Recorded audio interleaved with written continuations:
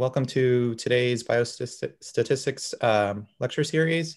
Um, today, we're really excited to have uh, Dr. Jean Fan. Um, Dr. Fan is assistant professor in the Department of Biomedical Engineering at Johns Hopkins. Um, prior to that, um, she uh, was an NCI um, F99K00 postdoc in the lab of Dr. Xiaowei uh, Zhuang at Harvard University, where she developed methods for spatial transcriptomics. Um, and before that, she received her PhD in bioinformatics and integrative genomics at Harvard, um, working with uh, uh, Dr. Peter uh, Kharchenko um, at the Department of uh, Biomedical Informatics, uh, working with Dr. Catherine Wu at Dana-Farber. Um, and so there, you know, uh, part, um, she developed methods for analysis of single cell transcriptomics and transcriptional heterogeneity. Um, and so now Dr. Fan and her lab, JEFworks, um, uh, are you know continuing to push the forefront um, in terms of uh, statistical methodologies and computational methodologies for modern transcriptomic analysis and um, uh, visualization. So I'm really excited to have Dr. Fan here today um, so we can learn a little bit more about her more recent work. Um, and so let's please welcome uh, Dr. Fan. Thank you.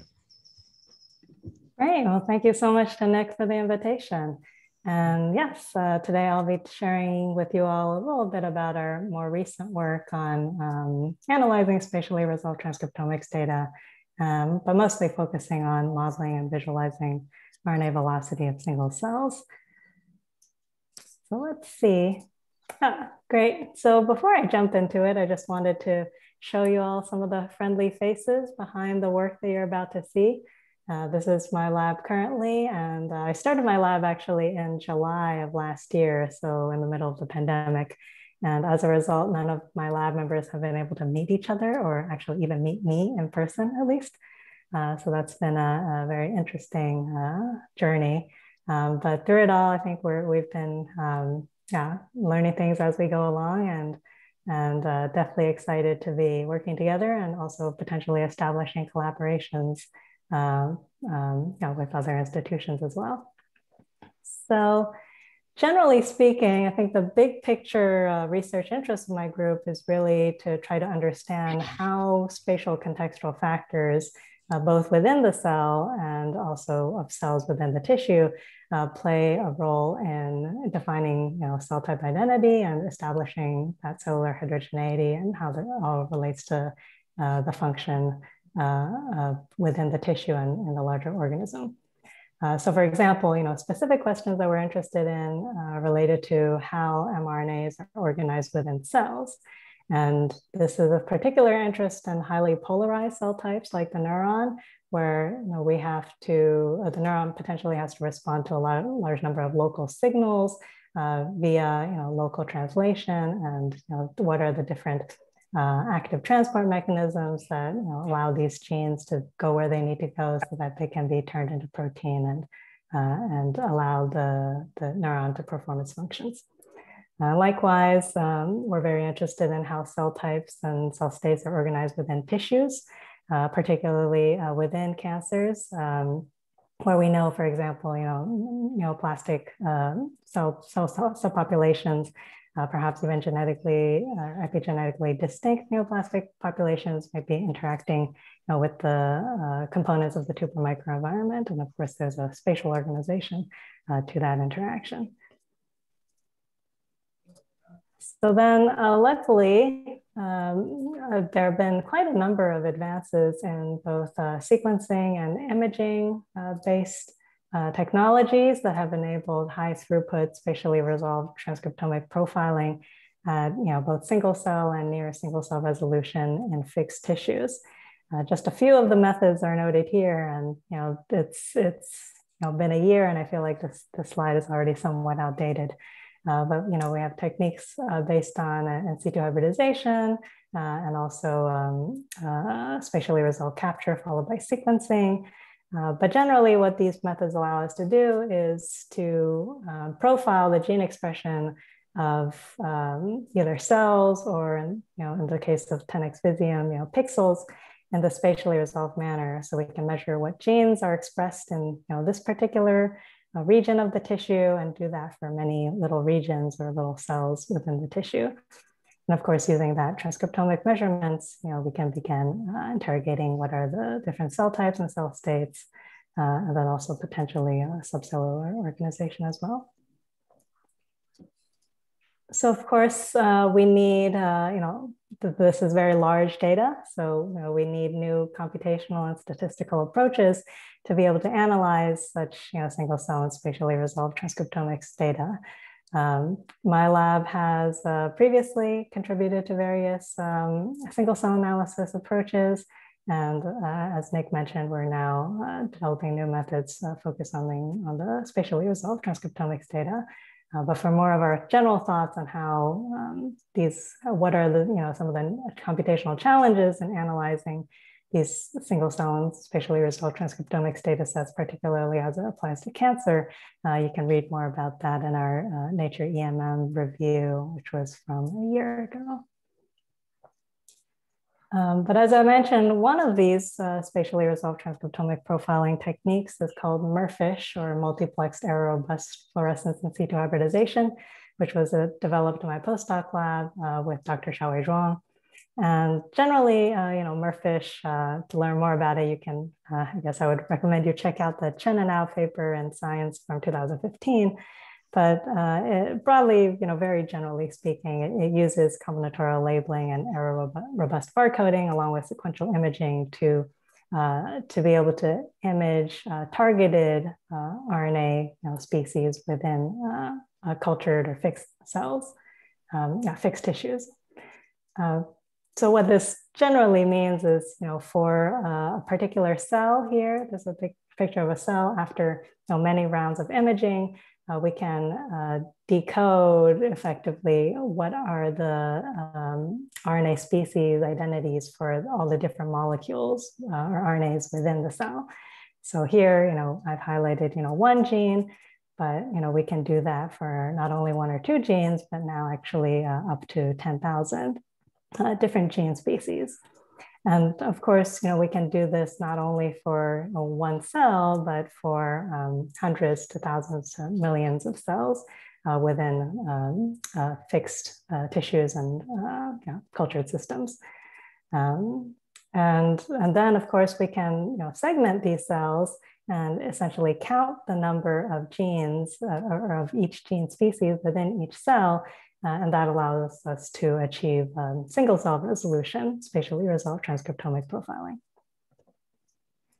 So previously um, in our PNAS paper from now two years ago, uh, we uh, applied MERFISH to uh, profile uh, to over 10,000 genes in U2OS cells. And that allowed us to begin asking questions regarding um, not only the spatial organization of RNAs within the cell, but then also the organization of transcriptionally distinct cell states, uh, in this case within culture. Um, but, uh, but, briefly, just um, uh, for, for more information, of course, you're welcome to check out the paper. But uh, in terms of, whoops, in terms of intracellular RNA organization, uh, we were very interested in seeing if we could um, figure out essentially what uh, genes co-localize with different subcellular structures like the endoplasmic reticulum. Uh, so, you know, we can, you know, given this, uh, this is an imaging-based approach, we can essentially, um, you know, image the endoplasmic reticulum along with all these, you know, 10,000 different genes and ask, you know, on a pixel level, you know, which of these mRNA molecules are spatially co-localized with uh, the, the pixels that correspond to our, our uh, endoplasmic reticulum. And in that way, you know, allows us to quantify um, you know, the, the gene expression within the ER endoplasmic reticulum and the gene expression outside the endoplasmic reticulum for all of our cells. And you know, that allows us to then do a pairwise you know, Wilcoxon test and identify you know, genes that are highly enriched in the endoplasmic reticulum. And of course, then we can visualize these genes um, uh, overlaid onto our endoplasmic reticulum image and just begin, you know, visually appreciating how, for example, even in the very fine uh, rough ER networks, uh, you still see, uh, as expected, you know, the, the significant spatial colocalization of these different gene species with this uh, very fine network. Uh, and likewise, we can you know, move a little more um, outwards towards uh, from the subcellular to the cellular and ask, um, you know, what are the different types of cellular organization that we can see? Um, are certain, you know, transcriptionally distinct cell states uh, spatially colocalized with other cell states? Uh, and begin testing, for example, you know, among the k nearest neighbors of each cell state, what uh, distribution of cell states do we see?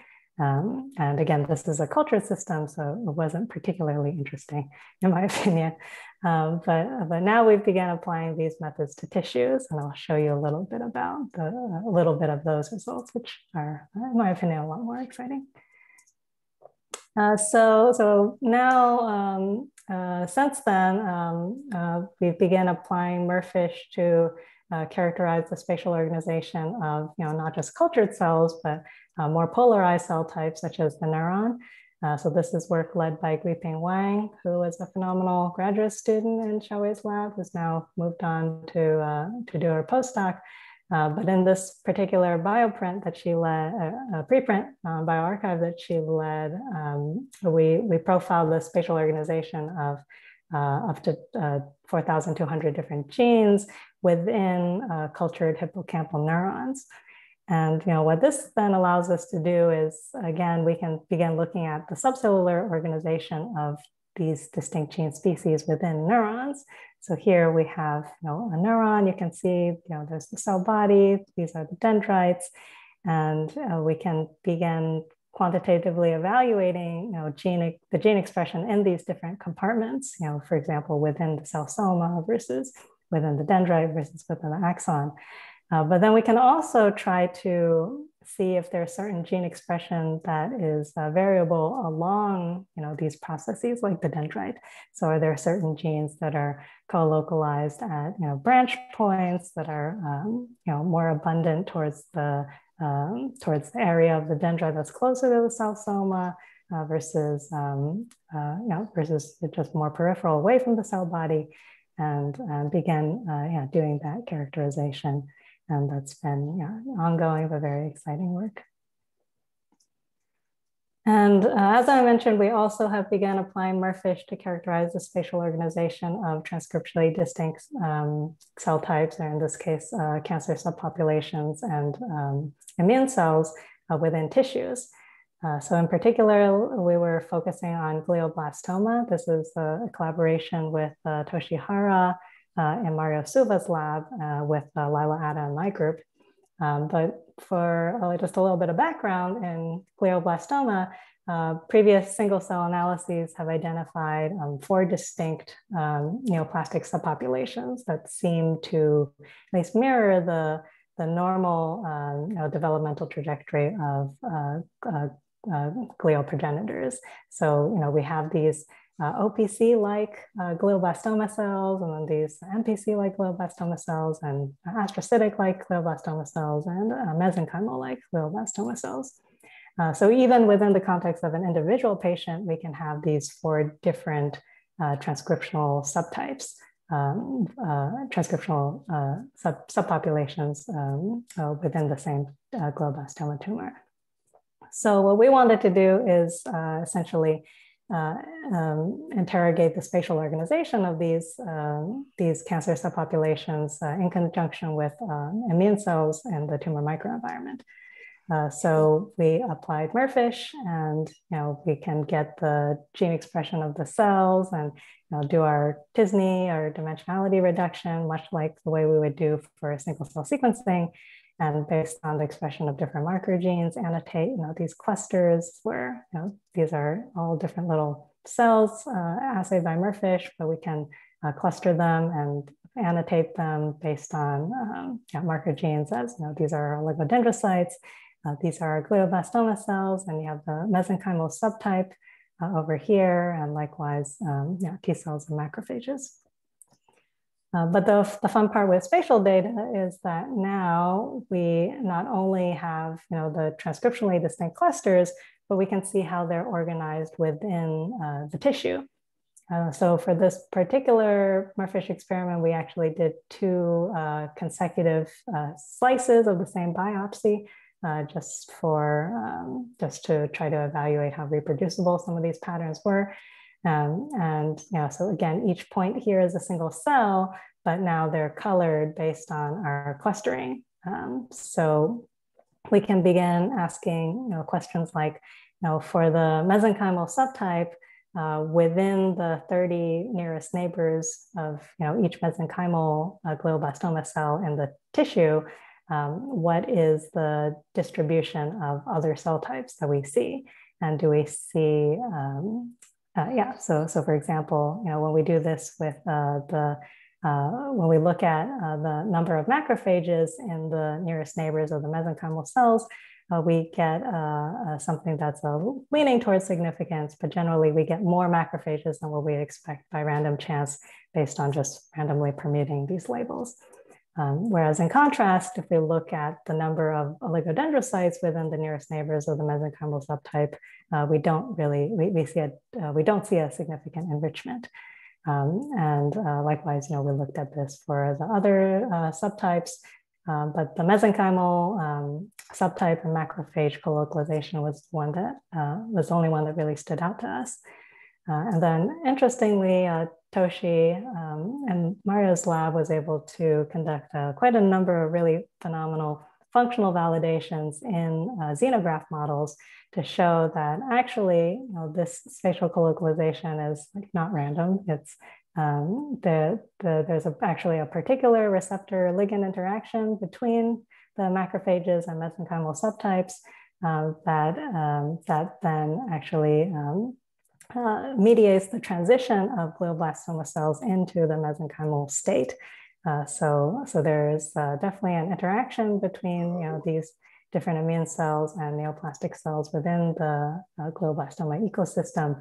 And these interactions you know, drive these glioblastoma cells into uh, you know, different states. Um, so, so this is uh, yeah, this is work that uh, is currently in press at Cancer Cell, and I think it should come out like within a few weeks. So, so definitely uh, take a, uh, be on the lookout for that if this is of interest to you. And then, uh, of course, uh, this this general data is uh, it's quite large. Uh, you know, we have um, in this case over two million mRNAs within a, a single experiment. Uh, and just um, essentially just browsing and visualizing this data can become quite cumbersome. Uh, so we developed a, a React-based um, WebGL-based uh, visualizer uh, to, to allow us to try to know, just peruse this data before we dive into any uh, deep analysis. And it's been particularly helpful for as we generate you know, new data and want to just take a look at it before we analyze it very thoroughly. Caltech ticket. So then I think the, the main um, point I actually wanted to teach you all today was actually regarding a, a limitation of this type of data, uh, both um, spatially resolved transcriptomics data and also single cell RNA sequencing data. And that limitation is just that these cells are fixed. So the expression measurements we obtain represent you know, these static snapshots in time. Uh, ideally, you know, for example, in the glioblastoma experiment, what we would like to do is, you know, let's say follow the uh, glioblastoma cells as they interact with the macrophages and, and we can see them upregulating, you know, genes, let's say associated with the mesenchymal subtype and be able to you know, see that uh, temporal dynamic. Uh, but unfortunately, that's currently uh, not possible. But that doesn't necessarily mean that all dynamic information is lost. Uh, so, you know, as you can see here, we have a, a static snapshot of uh, friends jumping off a cliff into the water.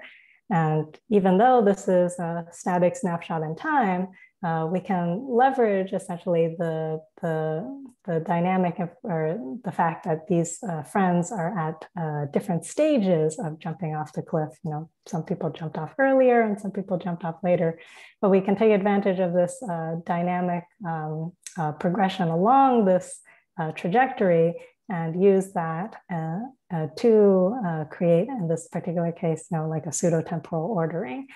Uh, and actually, with a few additional assumptions, like you know, we're, we're all smart enough to know that gravity goes down, uh, that uh, piece of information allows us to create uh, not only a pseudotemporal ordering, but uh, provide direction to that pseudotemporal ordering. Uh, so we know that you know this person jumped off first and then followed by this person and so on and so forth. So, um, and in the same vein, um, you know, the, the, the, uh, the spatial positions in this particular case of the friends along this, um, you know, trajectory uh, can also help us predict the future, you know, positional state of you know, this friend. That you know, even though gravity is going down, uh, we can infer, you know, some level of information about the angular momentum that he must have jumped off this cliff with. So at a future time point, he's probably going to, uh, at least spatially, you know, be more in the position of this friend uh, rather than, um, you know, let's say dropping directly downwards. So this is kind of the, this is generally the same intuition behind RNA velocity analysis uh, or RNA velocity in situ analysis as well where uh, where even though we have this static snapshot, uh, in this case of um, you know of cells and their uh, RNAs, um, we can take certain uh, advantage of certain information, such as the fact that we can uh, distinguish between uh, mRNAs within the nucleus versus mRNAs within the cytoplasm, as highlighted here. Here's one cell where we've segmented out the, the nucleus versus the cytoplasm uh, each dot is a different mRNA, and they've been colored you know, blue if they're um, co-localized with the cytoplasm, and green if they're within the nucleus. And we can essentially quantify uh, what's the gene expression for each cell within the nucleus and versus the cytoplasm.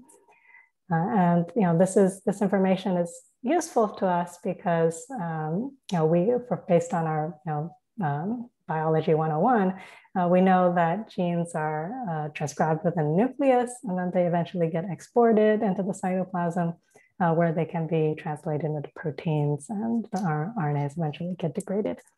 Um, but essentially then using this information that we can glean from this you know, static snapshot of spatially resolved transcriptomic profiling of these cells, uh, we can, um, as I mentioned before, you know, leverage this nuclear and cytoplasmic gene expression quantification to predict the future transcriptional state of cells now. Um, by, you know, we assume, again, this very simple uh, model where we assume transcription to be this constant that leads to the accumulation of nuclear RNA, which we can quantify and count. Uh, we assume export, uh, these RNAs are exported at a, at a constant rate uh, into the cytoplasm, where again, we can count the expression, uh, and then that just leads to a, a variable degradation rate. Um, um, but then we can model the rate of change of the cytoplasmic mRNA levels as a function of what comes in minus what goes out. But what this allows us to do is then, um, you know, looking across a population of cells, uh, we might expect some cells to be in steady state, which means that there's no rate of change for this uh, DCDP. So this equals zero. So we have some expected uh, ratio in terms of nuclear versus cytoplasmic expression levels. Um, and then there are going to be other, oops, there's going to be other cells in the population that you know, have higher nuclear expression than what we expect from the steady state. So these, uh, we can interpret these cells as actively upregulating this particular gene. So, you know, it's actively transcribing and therefore it leads to a higher accumulation uh, of this mRNA within the nucleus. Uh, and conversely, you know, the, if we see a, a depletion uh, of this partic particular gene, um, uh, in terms of like having a lower nuclear versus cytoplasmic ratio, we can interpret this gene, gene as being downregulated in a particular cell. So looking at our real data, uh, you know, our, it's always good to see if the real data uh, somewhat matches your model. Uh, indeed, we can see that you know each point here is a single cell. On the x-axis is the cytoplasmic expression level, on the y-axis is the nuclear.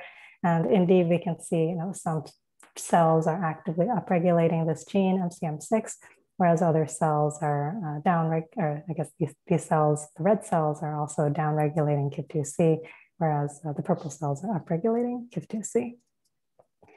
So what this means is that, you know, using this information, uh, we can not only have the observed transcriptional state for every cell. So this is for one cell, you know, each column is a gene, red is high expression, blue is low expression.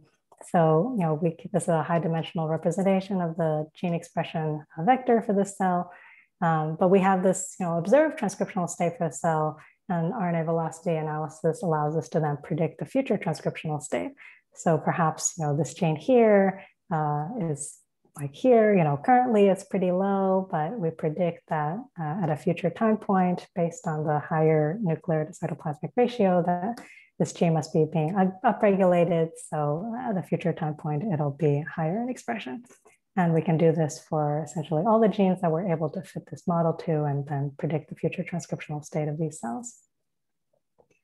And what this means is, uh, you know, in addition to doing clustering analysis, you know, with our, as we do with single cell RNA sequencing data, where we take our matrix of gene by cell, you know, we can project it into two-dimensional space with uh, and color the cells based on um, their, um, you know, transcriptional clustering with via community detect detection. And we can also identify differentially expressed genes in each cluster. Uh, so this this actually is uh, U2OS cells. So they're uh, cultured cells which don't have a lot of uh, transcriptional or don't have a lot of different cell types uh, per se, but they have uh, transcriptionally distinct cell states that are associated with uh, different cell cycle stages. Um, so if you recognize these genes, a lot of them are cell cycle related, which is unsurprising. Um, but then with RNA velocity analysis, what we can do is again, you know, take our observed states and uh, also predict a future state and project both of these states onto our two-dimensional embeddings and connect them via an arrow. And when we do this, uh, we can see that you know there is a predicted uh, ordering to the or cyclical structure uh, to the cells um, where you know cells here are, are, are, predicted to be moving in a transcriptional direction towards cells here and so on and so forth. And um, perhaps unsurprisingly, based on some of the differentially expressed genes uh, in these clusters, um, it's really uh, highlighting how they're progressing through the different cell cycle stages.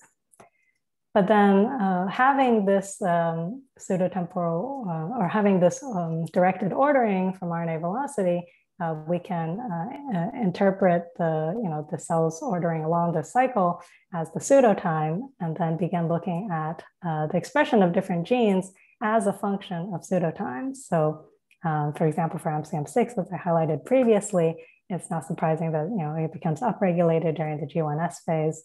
And likewise for KIF2C, it's upregulated during M phase.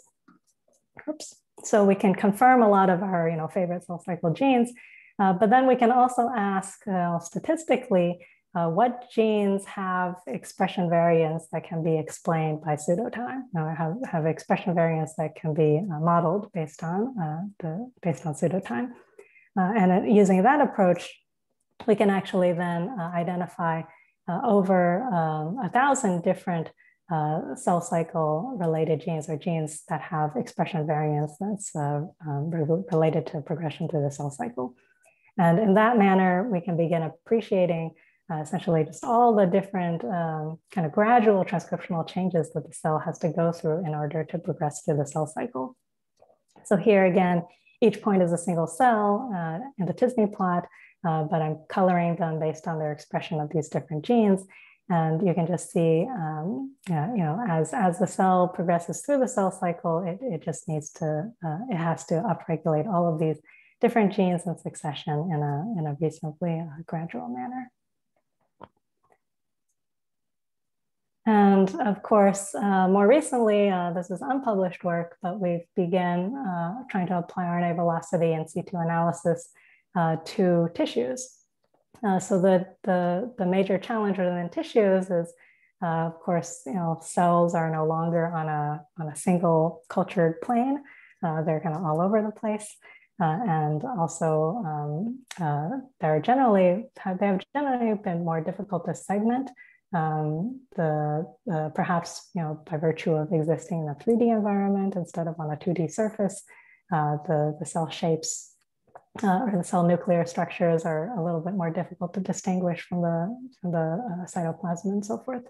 Um, but we've we've leveraged a lot of newer deep learning segmentation based approaches to try to uh, distinguish um, the nuclear nucleus from the cytoplasm for cells within tissues. And um, encouragingly, we can, um, um for example, uh, recapitulate some expected uh, trajectories, such as the progression of uh, oligodendrocyte progenitor cells within the, the, this is the mouse preoptic region, but we can get the oligodendrocyte progenitors and also the mature oligodendrocytes and show that you know, our velocity uh, in situ analysis in this particular case uh, predicts uh, a progression from the oligodendrocyte progenitors towards the mature oligodendrocytes. And uh, the genes driving this, uh, this trajectory are also you know, what we expect uh, as genes canonically known to drive this differentiation so then, of course, the you know, RNA velocity was initially developed um, during the, the, tail end of my PhD work in Peter Kharchenko's group uh, in collaboration with Sten Linnarsson's group. Um, but initially, we had developed it for um, single cell uh, RNA sequencing rather than imaging based approaches. And uh, in the same vein, instead of using nuclear and cytoplasmic RNAs, uh, we can use uh, spliced and unspliced uh, mRNAs inferred from sequencing to do the same type of modeling. And what this allows us to do, of course, is again um, uh, derive these um, not only a pseudotemporal ordering, but provide a, a, directionality onto our you know, reduced two-dimensional spaces that then allow us, you know, without any prior knowledge, to be able to identify, uh, you know, the putative progenitors uh, that are giving rise to, you know, in this case, the different uh, glial pop subpopulations versus the neuronal subpopulations. And then we can also begin diving into, you know, what are the transcriptional states necessary uh, at these different differentiation forks in order for the cells to eventually, you know, progress into these terminally differentiated cell states. Okay, so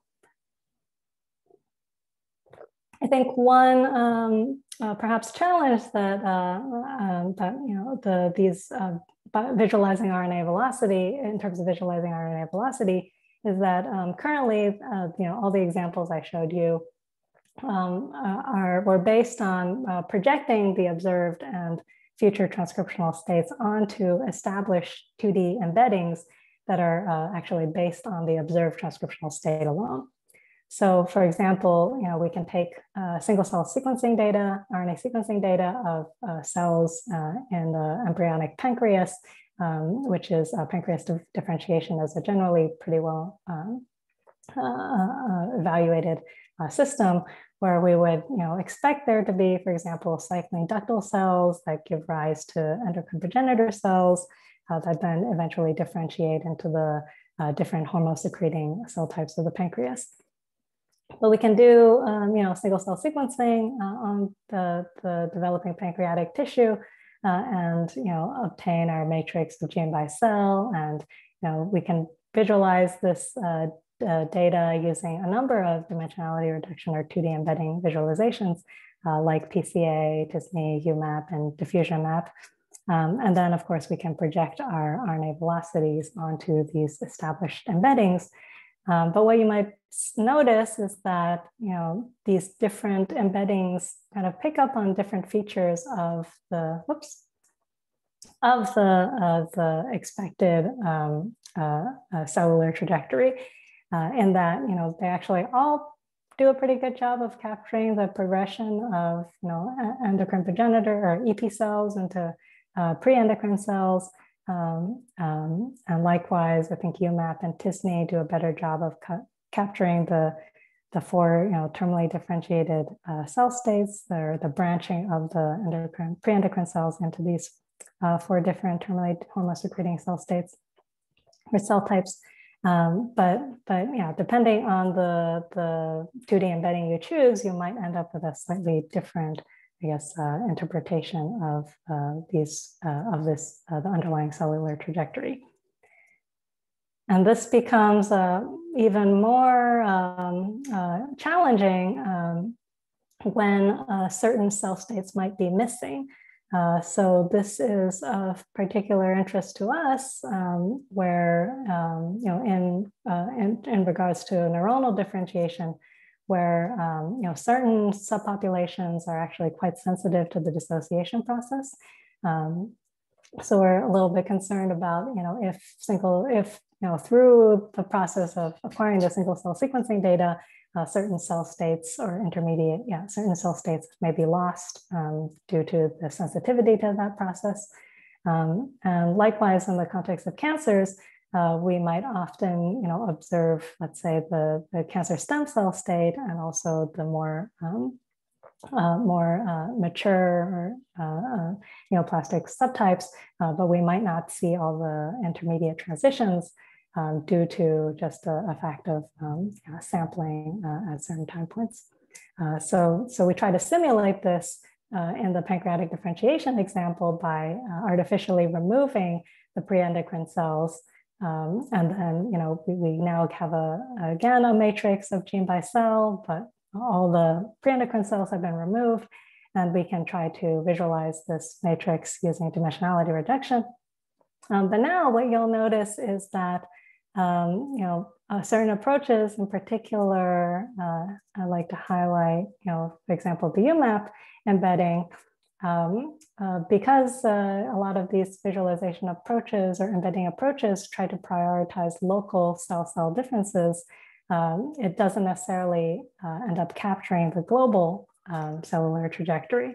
Uh, in this particular case, you know, it, it captures really well the cycling ductal cells uh, that then uh, differentiate into the endocrine progenitors, uh, but there's uh, no way for it to connect the endocrine progenitors to the you know four terminally differentiated hormone secreting cell types. And actually, you know, given this particular visualization, if you didn't have any prior knowledge regarding um, pancreatic development, uh, perhaps you'd be led astray and you know led to believe that these endocrine progenitor cells are differentiating towards something else uh, rather than towards the, the, the hormone secreting cell types. So faced with this challenge, uh, Lyla Atta in my group, uh, um, uh, along with help from Arpan Sahoo, uh, developed a, a, tool called VeloViz, where we try to integrate RNA velocity information directly in order to visualize cellular trajectories. So just briefly, uh, our, we do have a preprint available on bioRxiv, and uh, there are also lots of software um, and tutorials available on my lab website. But just very briefly, uh, the way VeloViz works is by, um, uh, again, uh, uh, obtaining the current and projected future transcriptional states um, from RNA velocity analysis.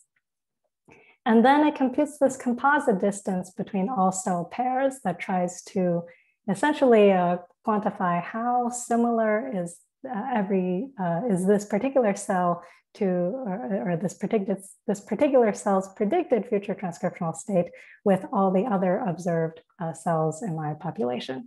So, um, so for example, if in this particular case, you know, cell A is um, predicted from RNA velocity analysis to be moving in a direction towards uh, cell B, such that its predicted future transcriptional state is um, pretty similar uh, to cell uh, B in the population, and likewise is in the same direction. Um, whereas uh, cell A is, um, uh, is uh, predicted to be moving in this direction, which is somewhat close to cell C, but the, the, the, direction of that movement or in higher dimensional transcriptional state is a bit different. Uh, so in this particular case, you know, uh, the composite distance for uh, cell A towards cell B is uh, closer than cell A towards cell C. And what this allows us to do is then construct a, a K uh, nearest neighbor graph uh, for the K nearest neighbors in terms of this composite distance. So if K was equal to one, then A is a neighbor with B. And we can then re represent this as a higher dimensional graph where each uh, cell is a node and each edge is, you know, the k uh, is if they're within the k nearest neighbors of the closet distance. And we can also uh, prune certain edges based on uh, various distance or uh, transcriptional similarity thresholds. But then given this high dimensional graph, we can use um, you know, various uh, force-directed embedding or other graph-based embedding approaches to then visualize this graph in two dimensions or three dimensions if you prefer. So applying this uh, VeloViz to the pancreas, pancreas development, what we find is, uh, as expected, uh, when we have the full data set, uh, much like with, um, uh, with uh, UMAP and t-SNE, we're able to you know, identify the, the progression of the endocrine progenitors into the pre-endocrine cells and also capture the cycling ductal cells and also the branching uh, hormone secreting cell types. But perhaps uh, more, uh, more um, interestingly, um, we can show that you know even when we remove these intermediate uh, cell states, such as the, the pre-endocrine cells, uh, by taking into consideration the predicted future transcriptional states uh, from the RNA velocity, we can actually um, connect the, under, the endocrine progenitor cells uh, to the hormone secreting cell types and, um, and uh, maintain the, the underlying, whoops, maintain the underlying uh, cellular trajectory in contrast with UMAP, which, which created these two distinct subclusters uh, that did not connect the endocrine progenitor cells to the, uh, the hormone secreting cell types. And, uh, and of course, know, we can um, apply this not only to single cell RNA sequencing data, but also uh, again to um, MERFISH data via our RNA velocity in situ, where again, we applied it to the U2OS data. And as previously, you know, we, we can see this, this nice cycling uh, trajectory um, but even when we remove uh, G2M cells, for example, uh, the cycling trajectory is still maintained in our VeloViz embedding. Uh, and you know, this the end of the day, you know, this is a high dimensional graph which can be visualized using other graph, um, you know, graph-based embedding or uh, other uh, visualization approaches, uh, such as you know, visualizing in three dimensions or even um, uh, visualizing uh, it as this high dimensional graph in UMAP itself. Uh, so UMAP is still a, a graph-based embedding approach. So rather than um, embedding the graph constructed based on the observed transcriptional state alone, uh, what VeloViz allows us to do is um, integrate the RNA velocity information uh, in creating this graph. And of course, that graph can then still be visualized by UMAP. So uh, as I mentioned again, um, uh, we do have a preprint available and we, uh, Lila and Arpan have developed uh, quite a number of uh, nice tutorials uh, walking you through these different analyses in case you're interested in trying them out. So, so then just to summarize, um, I hope I've been able to show you how uh, single cell and spatially resolved transcriptomics data really demand new computational and statistical tools uh, to try to extract out uh, relevant biological insights. And you know these uh, these these tools um, uh, are needed to ask, address questions not only at the, the molecular and subcellular level, but then also the cellular and the tissue level. Uh, and uh, one challenge uh, or perhaps limitation with this uh, with single cell and spatially resolved transcriptomic profiling uh, data currently at least uh, is that they represent these static snapshots in time. However, um, computational modeling with RNA velocity can be used to predict the future transcriptional state of, uh, of cells and to some extent derive certain elements of dynamic information uh, from these static snapshots. And then finally, taking into consideration these predicted future transcriptional states with VeloViz, uh, we can create a more stable representation of the underlying cellular trajectories, uh, even if uh, intermediate cell states might be missing. And I think looking forward, um, uh, I think it's, it's interesting to think about how transcriptional dynamics inferred from RNA velocity can be potentially just used as a, an additional aspect of cellular heterogeneity. Uh, so there's ongoing work in my lab to uh, try to evaluate um, essentially how, uh, by integrating RNA velocity information, can we more effectively uh, predict uh, protein abundance from RNA? Uh, and you know, generally, you know, we, we, measure RNA, but we're really interested in the protein. Um, but currently, uh, it's quite challenging to, to predict protein directly from RNA. And the, depending on the system you're looking in, it might not have a great correlation. So we're wondering if integrating RNA velocity could potentially improve that prediction. Uh, and likewise, um, uh, yeah, some things that we're not really working on, but uh, looking at uh, some of the other works uh, by folks in this department, uh, perhaps you know allele specific velocity differences could be of interest, and likewise, you know, um, interrogating the the genetic impact or the impact of genetic variants on uh, not necessarily the gene expression levels, but the dynamics of the, that gene expression. So in terms of RNA velocity, does it impact uh, the, the rate of upregulation and downregulation of different genes, for example? So again, um, there are lots of tutorials available on our website at jef.works in case you're interested in you know, trying out some of these analyses or reproducing some of the results in our figures or in our papers and so forth. Uh, so you're definitely welcome to you know, check out our lab website. And then with that, um, thank you again for your attention and uh, a shout out to my lab. This is our lab holiday or holiday photo, which was, uh, again, of course, virtual this year. Um, but yeah, with that, um, thanks again to, to my lab members, in particular Lyla Atta and Arpan Sahoo, whose work was highlighted here, uh, as well as our collaborators, uh, in particular um, uh, Chenglong Xia and George Emanuel, who uh, co-led the work in the U2OS cells, and Guiping Wang uh, for her work on the, the MERFISH neuron, and of course uh, Mario Silva and Toshihara on the glioblastoma collaboration. Uh, so with that, um, yeah, definitely happy to take questions. And uh, you can always find me on, on uh, via email or, uh, or uh, once in a while on Twitter. Awesome. That was a, a fantastic talk. Um, I, have, I have a couple questions, but uh, I'll, I'll save them for later. Um, so if, if anyone um, has a question for, for Dr. Fan. Hi, this is Adam McLean. Um, I yeah, that was really, really um, great work, very exciting stuff. Um, I was just wondering about kind of the use of RNA velocity um, when you have the spatial transcriptomics, such as via MERFISH, right? You have this really intriguing e extra component of um, spatial similarity of cells. Like, I wonder, so I'm, I'm not sure, maybe you are, but are you using that? Like, when you consider um, the like projection of cells onto an RNA velocity plot, do you use a whole sample across a tissue, say, or would you um, like subset that based on like spatial uh, distance? Right, because like I say, I can't, I can't, I can't be going very fast to a progenitor if that is spatially distant.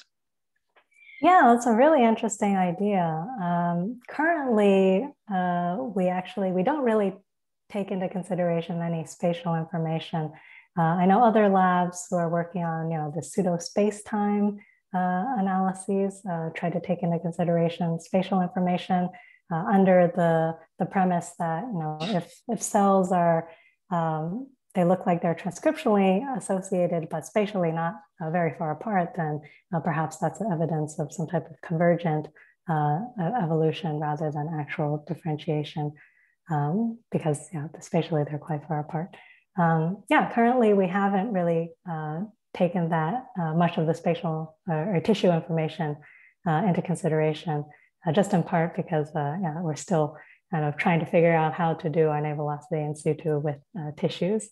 Um, but yeah, I think that's that's definitely an interesting um, area of potential information integration. And I think you can also think about it the other way around, where you know, given that you know these cells are um, yeah, are, are you can predict, you know, a, a putative um, future transcriptional state for these cells. Uh, does that indicate any, is that consistent with any, you know, spatial migratory gradients, uh, particularly within the brain? You know, can you predict that, you know, uh, at a future time point, you know, this cell is moving towards this transcriptional state, but also the spatial location? Uh, perhaps it's also of interest in cancers where you know we have, let's say, you know, angiogenesis or other types of um, you know chemokine gradients, things like that. I think yeah. I think generally it'd be quite exciting to try to integrate spatial information. Yeah, yeah, for sure. So we're just one more very briefly, if I may.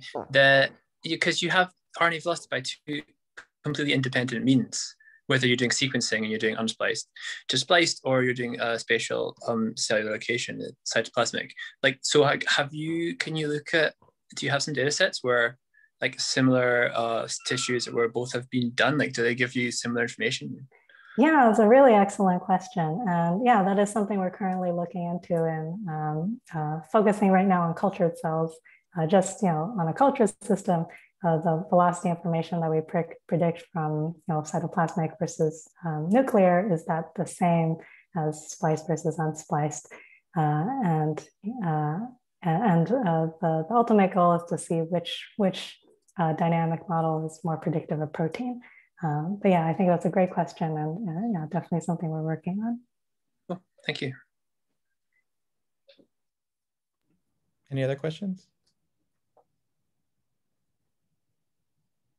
Um, okay, if not, I, I, so I have a couple um, questions, you know, maybe more in the lens of, or through the lens of uh, genetics, but, you know, so I'm, I'm sort of curious about regarding these, the spatial, um, uh, uh, um, the spatial results, right, where you're able to use these, the, not only the type of data you have, but these methods to find enrichment of um, maybe more precise location where genes are expressed like within a cell.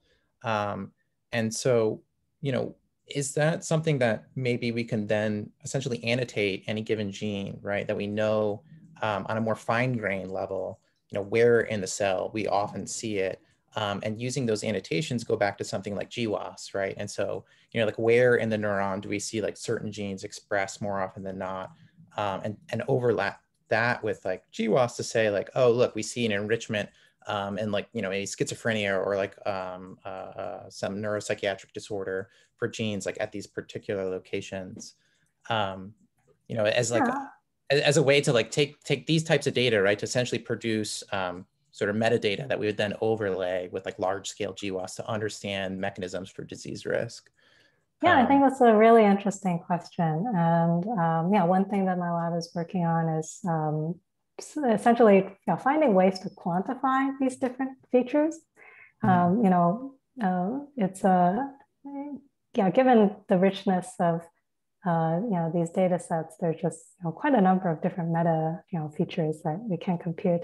Um, you know, one thing is uh, you know as you mentioned, maybe like the let's say the the the tendency of genes to be nuclearly um, retained could be one feature. Um, but then if there are other features that are, um, let's say, uh, yeah, I think there's just quite a number of uh, different features we could compute. Um, some of the features like we're trying to figure out how to compute is uh, actually related to um, uh, the asymmetry and spatial distribution of genes within cells. You know, if a particular gene is um, always like polarized to one side of the cell, uh, it's going to be, you know, different sides and different cells, but we can see that they're always polarized. Uh, does that have any um, uh, overlap in terms of enrichment of these genes within GWAS? Uh, I don't know. Uh, and and but I think there are just yeah, quite a number of features. Now we can also look at, you know, let's say genes that are always spatially co-localized with each other, or you know, genes that are you know, enriched in different subcellular structures. Um, genes that are you know, more spatially aggregated versus more spatially diffused within the cell. Uh, yeah, I think the yeah, I think it's a really interesting question. Um, and, yeah, I, yeah, yeah. I think I think it's a you know a really cool opportunity to get like a much more fine grain um, set of annotations for any given gene or groups of genes that you know ultimately we can then just take those annotations, whether like you know binary or or continuous, um, and overlap it like through with some some some statistical genetic software like LD score regression or something. Yeah, like, yeah. I guess find this enrichment of signal within these annotations. Yeah, I guess the question I would have for you is, um, do you think it has to be done in a particular cell type uh, that's yeah. relevant to the GWAS? Yeah, absolutely. Right. So I, I could see like you know again if we're studying like a neuropsychiatric disorder, right, we would then want to take um, some some you know brain cellular tissue. Um, I'm not sure like which particular brain cells. Um, and and this is my maybe my ignorance with you know the the experimental assays on on what sort of range of cells you can quantify um, through something like MERFISH, but um, uh, you know as long as it's like a collection within something that I think that would be very useful. And then certainly you know maybe as like a baseline, take some other like non-relevant tissue to see that, that there's an enrichment overall. And then like similarly, I, I do wonder is if there's a way to go back from the velocity data, right? So if you have these trajectories along these cell states, you know, is a, a way to take that as like one, either a way to map those back to some, um, you know, like what, what constituent genes are driving those trajectories for any given cell state to take those as like some quantitative annotation um, to overlay with GWAS. And I guess like, um, mm, oh, I see, I see. Yeah, if Right, there's a particular- see, like- particular a set of genes that are um, associated with uh, differentiation or progression uh, that are driving yeah, the dynamics of this cellular trajectory and uh, and use that rather than you know differential expression. uh, yeah, right. Because maybe maybe it's like at, you know at a certain time, like the context is is um, some like developmental context is important again for like maybe some neuropsychiatric disorder. Like maybe it's when um, you know like some some some dendrites are forming earlier on, um, and like that gets disrupted somehow. And so genes that are enriched at that time point through this trajectory um, might might provide some information. Um, I don't know. It's, it's really cool. I think it's like a really exciting opportunity to to to to like leverage these tools that quantify this stuff um, uh, and think about how we can integrate that with GWAS in some way. Yeah, it kind of just it, it just completely boggles my mind like the kind of like theoretical possibilities right? Just even of MERFISH alone like how much we're just so barely scratching the surface. I mean you're talking about like the all that's possible just within a cell on like spatial statistics of gene expression. But you have thousands of cells live in i mean sit, fixed in a tissue in theory right? So then you have a great wealth of statistics on gene expression per single cell and you have thousands of cells with a spatial resolution across cells. So kind of just like, I mean, yeah, yeah, yeah. the amount left one- to be done, it just, it kind of makes me a bit dizzy, to be honest. Yeah, yeah. Actually, one fun story um, from the neuron analysis. Um, you know, one thing we were really interested in was actually uh, dendritic heterogeneity within the cell. So, are certain dendrites within the same neuron, you know, transcriptionally distinct from each other because they have to, you know, respond to local environment, environmental cues. Um, so, yeah. So I was doing this analysis where, yeah, you look for you know, differentially expressed genes between you know dendrites and you know are they enriched in certain um, yeah certain processes and I felt like I was finding uh, you know these really interesting signals uh, but then you know I had to think about how you know I, I was looking at you know thousands of genes and hundreds of thousands of cells. So then you know with multiple testing correction you know it was it was almost like bound to find some interesting signal that you know i guess when you put your biologist hat on you're you're led to believe it must be so interesting. But then when you put the you know statistics hat on it's like oh this is actually fully expected within the realm of this random noise and yeah that is just i think still boggles my mind